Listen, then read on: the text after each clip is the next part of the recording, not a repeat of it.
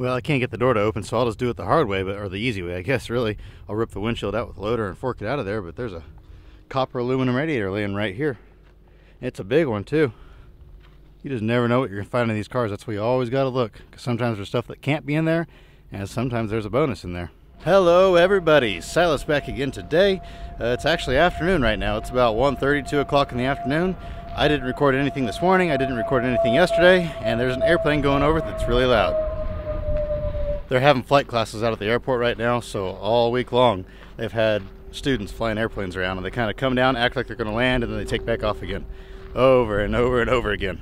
But anyway, I just been super, super busy crushing cars. I got a lot crushed and I had this road almost open and then we bought a whole bunch of cars from a tow company. They've hauled a few of them in so far. There's a bunch more to go though. Now this is a Blazer here, or what's a what's the GMC? Is it is it GMC Blazer? I don't know. Oh, Jimmy. I don't know. It's too warm. My brain's not working. but anyway, this just came in. I might have to look that over, see if it's got anything good on it. Don't see those too often anymore. And then the rest of these are just junk. Uh, the little green Honda was here already, but this GMC is new. This, what is this, a Ford? Yeah, this Ford's new. That GMC is new.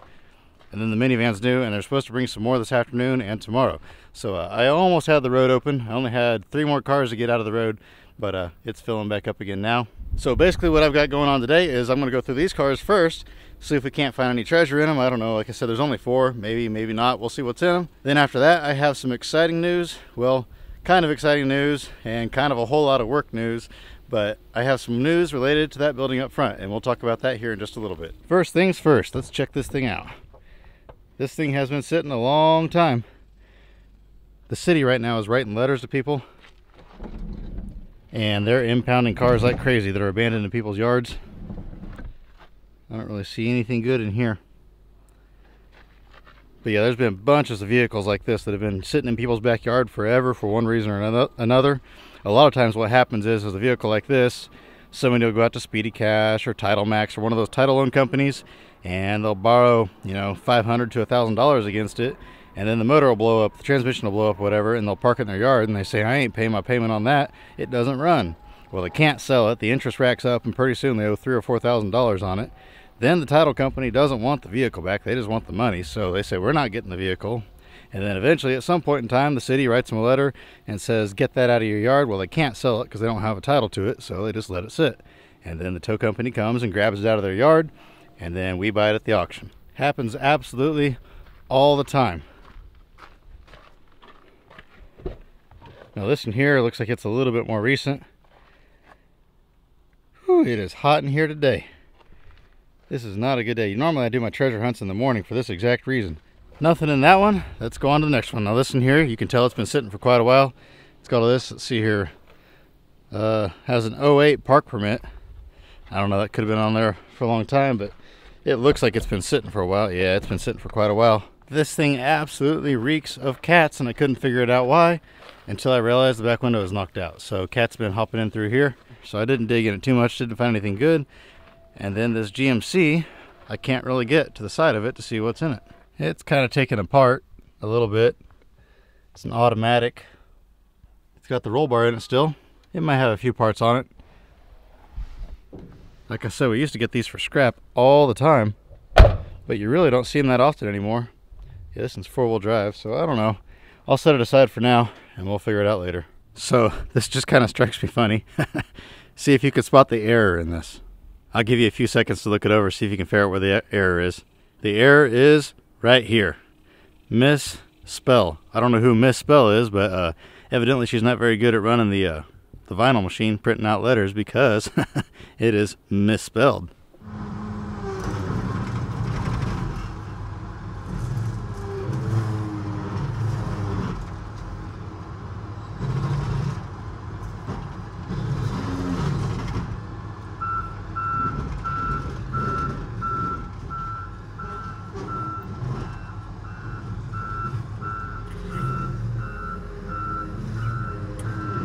Yeah, I know in that last clip, my brakes were squeaking. They need fixed on this loader pretty bad. We can't get them to come out here and replace them.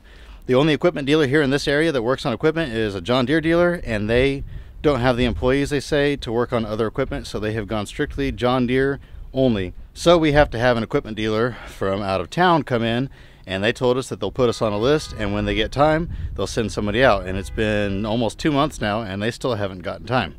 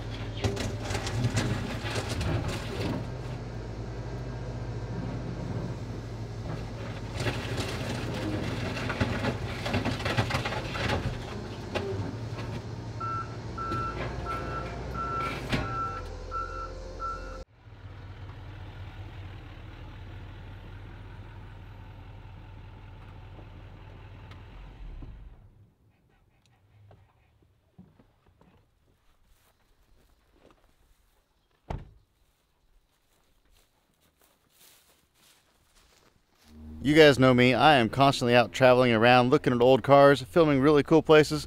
Sometimes I'm just on vacation with the family. And when I'm out traveling, I've got to be able to connect to the internet wherever I'm at. And the problem with that is, sometimes I don't have a very secure connection. And that's where today's sponsor comes in, Surfshark VPN. Now you might be wondering, what is a VPN? Basically, it keeps all of your online activity private. And one of the main things that I use a VPN for is when I'm out traveling and I have to use public Wi-Fi.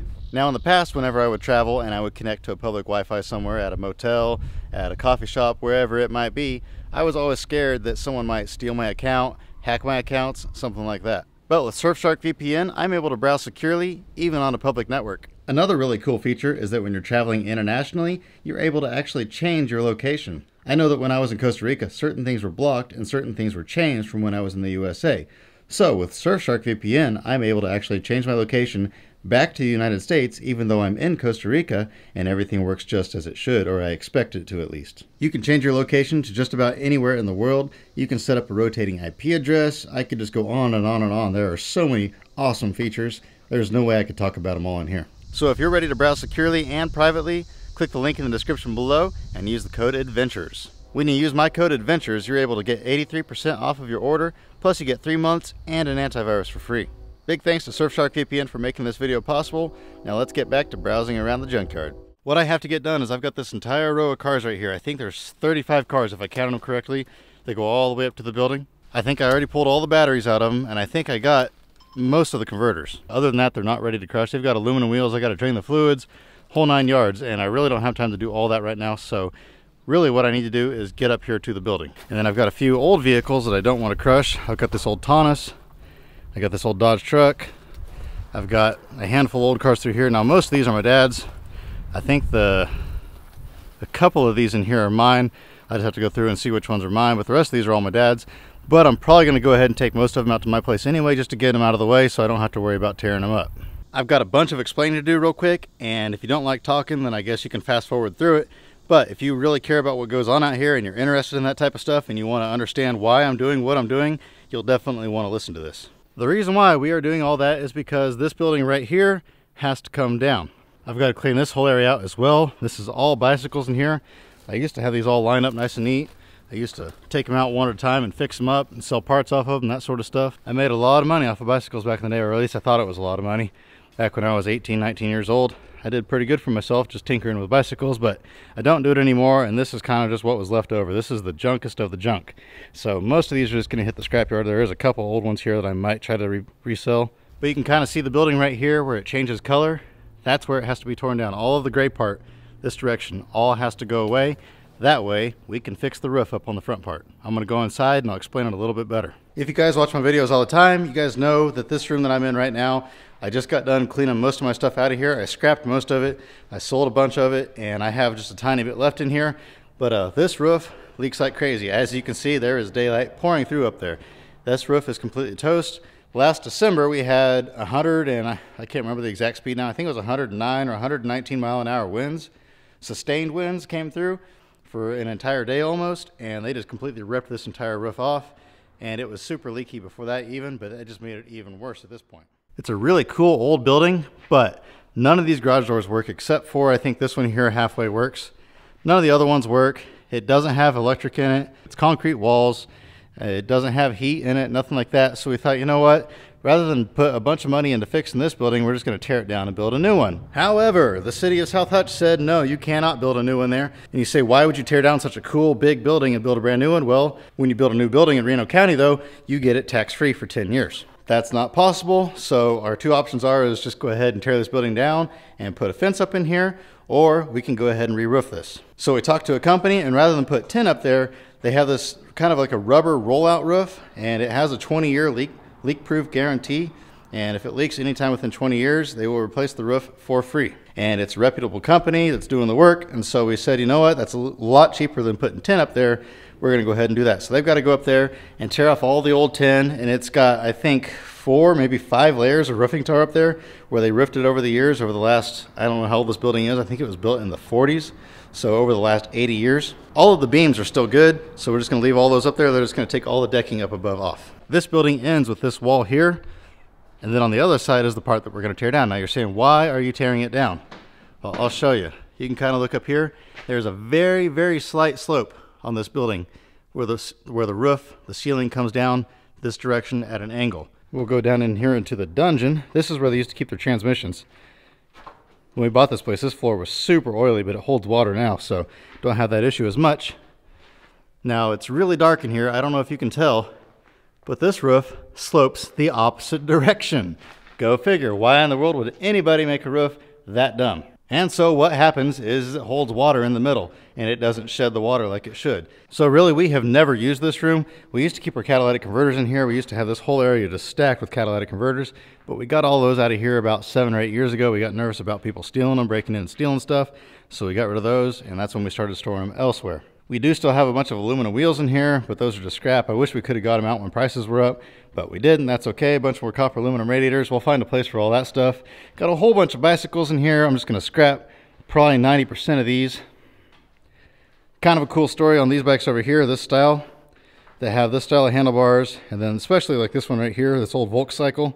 I had a guy from Mexico that would come in and buy those from me, and he could fit tons of these things in a minivan, and he would be pulling a minivan behind a minivan, and he'd pack them both full of bicycles. He gave me $15 a piece for these bikes in this condition here, as long as they were complete, and then he would take them down to Mexico, they would rebuild them and resell them. But because of all the violence on the border, he quit doing that because he would carry huge wads of cash with him to buy stuff, and he didn't feel safe doing that, so he just quit. And then we've got one car in here. This is a 67 Thunderbird with a 428 in it. It's a pretty cool car, but it's been leaked on for so long now that I don't know if it's any any good anymore, but really it's not too bad a condition still. I'm sure the interior is shot at this point, but the body is still pretty solid. The floors are probably kind of rusty now, but that's all fixable stuff. So we got to get it out of here. And then upstairs used to be clear full of parts. This is like a parts warehouse for him, like I said earlier. And a number of years ago, my brother-in-law was here and he helped me clean all those out. And we scrapped all those a long time ago. So really, I don't think it'll take that much work to clean this building out.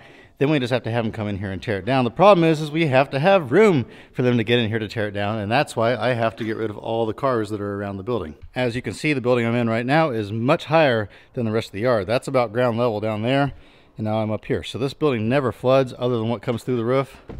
So it's really not a bad building. It just, we really would prefer to have a new one, but it is what it is. To fix just the roof on this building here, we're looking at spending somewhere in the neighborhood of around twenty-five to thirty thousand dollars to fix this roof. And there's one more tall roof in this little room over here right beside it where my old Dodge truck is, which is kind of a bummer for me because I just did all that work to get all my stuff out of that big room. And now we're gonna fix that room and all my stuff is in rooms that still leak, but I guess that's okay. Right now I have a guy building shelves inside of a U-Haul truck for me.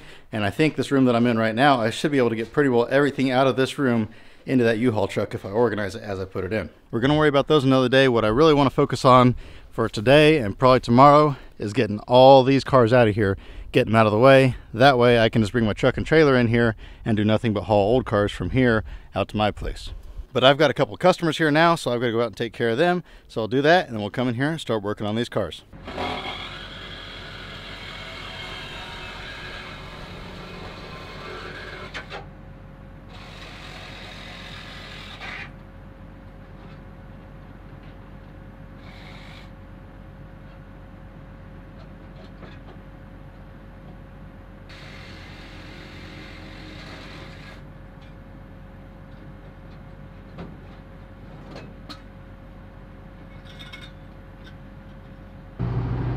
I'm making progress.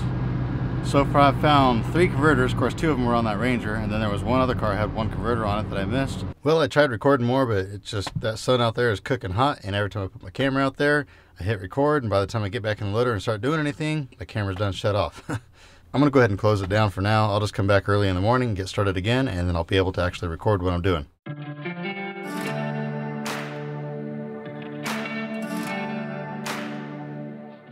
And good morning. I forgot this guy here wanted to bring this old truck out today, and that's why I'm not at the yard. It's kind of a shame. This truck's in really good condition. It's just a super ugly International. That's the way it goes, though, is the nice ones are always ugly. It's even got a clean and clear title to it and the whole nine yards. It was parked in the barn most of its life. Kind of a shame. But I have never been able to find a market for these things. I have tried. I've had some really nice ones of these and there's just no value to them. Even for wall art, these noses are really hard to sell. They do sell, but you have to sell them fairly cheap. But it does have a big copper radiator in it, great big copper radiator. And I bought it for a little over scrap price, so I don't have much extra invested in it. There we go. I'm not sure what engine's in it. It could be one of the good engines. Some of these engines are pretty good because they like to put them in the old Scouts and Travelalls and stuff like that, but uh, I'll have to look and see. There's a little pad on the other side of the engine that says the engine size, but I don't feel like getting greasy this early in the morning, so we're just going to worry about that another day.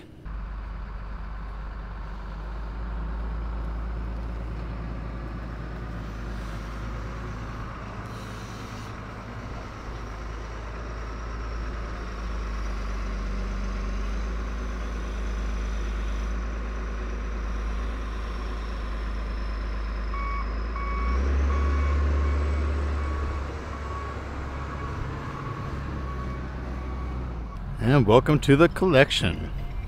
And I'm here at the yard. They dropped off a couple more cars. Don't know if there's anything in these or not.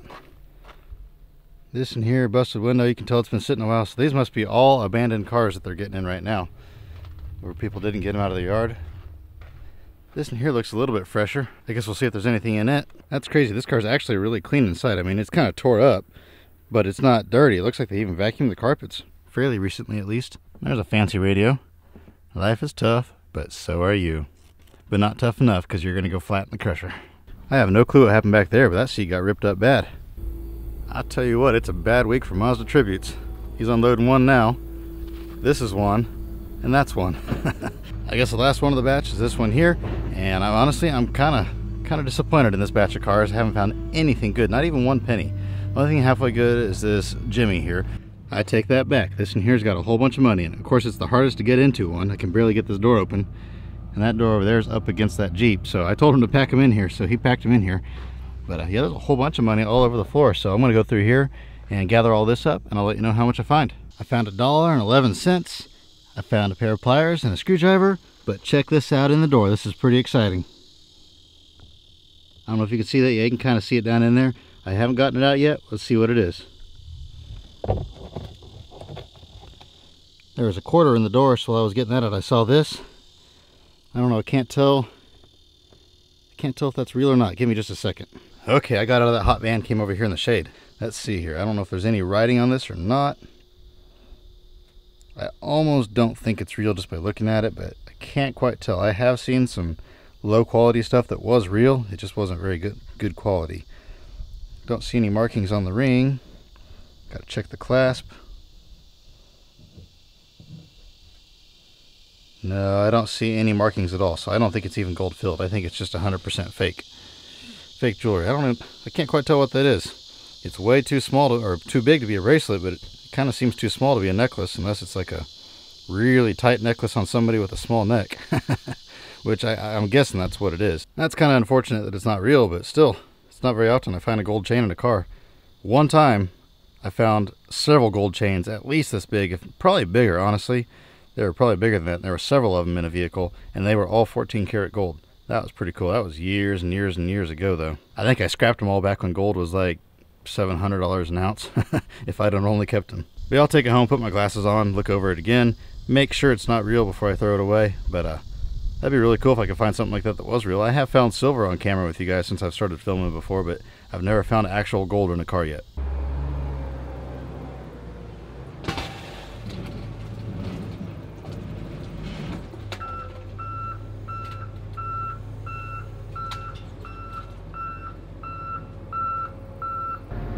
Oh man, somebody sure enough got the cats off this show already.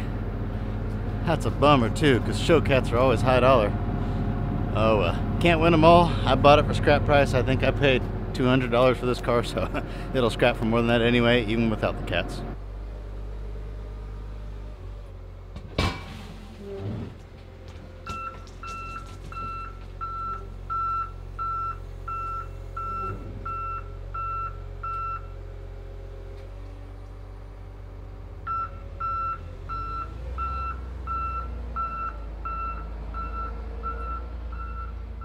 It all works out though. This one here has three converters on it. Two of them are pretty high dollar.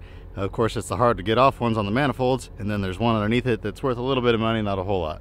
But we'll worry about this when I get back. Right now, it is lunchtime. And then after that, I've got a guy bringing another antique truck out. So I got to go out to my place again. So I'm sitting here eating my lunch, reading the news, and I see this. That's pretty crazy. I've never found anything like that before. I didn't get to record unloading this truck, but here it is. Pretty cool truck old GMC 58 or 59 I'm not sure on the exact year. Had a 370 in it. That's why the guy bought the truck was for the motor. He pulled the motor out doesn't need the rest of it. It's a little on the rough side. It's got some rust in it got a bunch of Bondo in it. There's the radiator laying in the seat. But you just don't see GMCs too often. I get a lot of Chevys of this year here lately especially. But this is the first GMC I've had in quite a while. It's got a little bit of rust up there but I don't know that the cab is going to be worth anything for once, I may not chop this nose. I know I chop a lot of these big truck noses just because they don't usually have value, but like I said, you just don't see GMC noses very often. And correct me if I'm wrong, but I believe the cab is the same as a Chevy, just the dash is a little bit different. So if somebody had a Chevy and they really like the look of the GMC nose, they could swap it out to this. But right now, I need to get back to the yard and keep getting busy.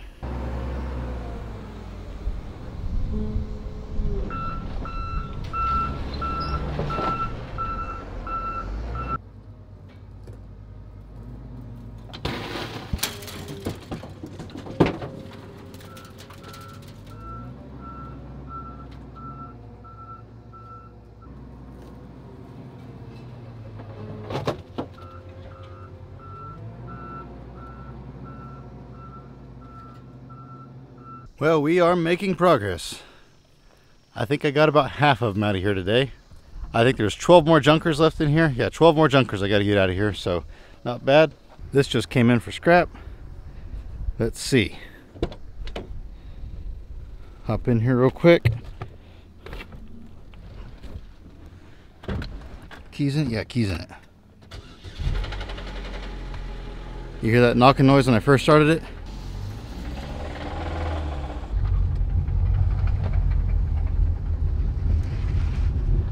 It's just an old worn out car. The interior is all ragged out, dash is taken apart. Not worth fixing, not worth selling. The road's getting pretty full. Just got this little gray Malibu and whatever that thing is in front of it. Is that seriously another tribute? That's the Ford version of the same thing, so that's four of those. that's crazy. Bad day for those. They were just junk when they were new anyway. Yeah, anyway, this road is getting pretty full. All the ones that I have ready, completely ready, I've been stacking up. I still have to pull the aluminum wheels off and drain the fluids, but other than that, they're ready to go. I can squeeze back here. This came in. I don't normally take campers, and I didn't know they were bringing this. This came from the impound, and he's like, we just want to get it out of here. So he got it out of there, and he dumped it on us. So now I got to figure out what in the world we're going to do with it. It's pretty rough. I'm going to try to just flip it hopefully get a little bit out of it so I don't have to haul it to the landfill. I was just about to head out for the day, and then some of those shady converter buyers that drive around in the white vans, they pulled in wanting to buy some of the converters I had pulled off today, and they were offering dirt cheap prices, less than I would pay for the stuff. But they kept saying, "Oh, we pay cash, we pay cash." And I said, nah. I said. Nah. I said, do you require titles or proof of ownership? Oh, no, no, no, no, none of that. We just we pay cash, no questions asked. So anytime you're wondering where your stolen cats went, that's where they went. Well, with that, I am done for the day. If you guys enjoyed this, please give me a thumbs up on this video. And as always, I hope you have an absolutely fantastic rest of your day. And remember to get out there and find an adventure. We'll see you next time.